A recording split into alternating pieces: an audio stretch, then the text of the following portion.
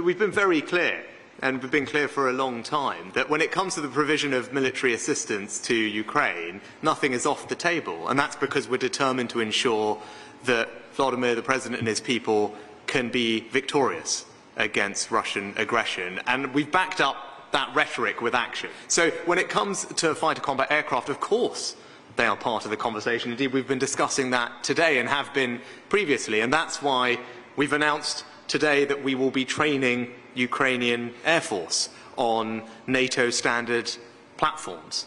Because the first step in being able to provide advanced aircraft is to have soldiers or aviators that are capable of using them. That is a process that takes some time. We've started that process today. That's because we're keen to support the President and his country in delivering a victory.